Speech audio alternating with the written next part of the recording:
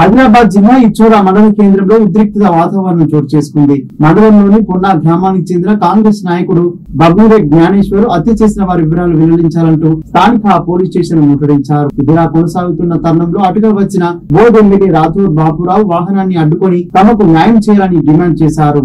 జిల్లా ఎస్పీతో మాట్లాడి బాధితులకు న్యాయం చేస్తామని ఎమ్మెల్యే హామీ ఇచ్చారు. అనంతరం ఇచ్చోడా సిఐ కంప రవీందర్ బాధిత కుటుంబ సభ్యులతో చట్టానికి ఎవరు చుట్టాలు కారని ఎంతటి వారైనా శిక్ష పడేలా చేస్తామని చెప్పడంతో ఆందోళనకారులు శాంతించారు. ఇవి ఇప్పటి వరకు లేటెస్ట్ అప్డేట్స్. మరిన్ని వార్తల కోసం చూస్తూనే ఉండండి. Star nine news voice of truth.